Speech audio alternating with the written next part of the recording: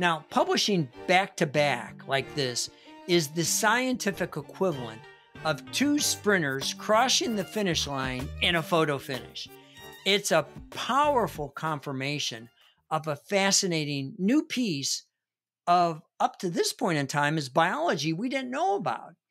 Both papers are really describing the same system. It's a novel two gene antiphage system. And I'm just going to go with calling it Panoptes because who, who doesn't like Greek mythology with an all seeing ogre making certain that no one will invade?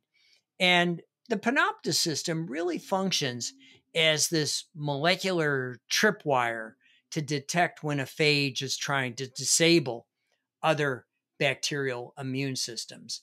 And while both teams have arrived at the same conclusion, they took slightly different routes, and their findings complement each other beautifully.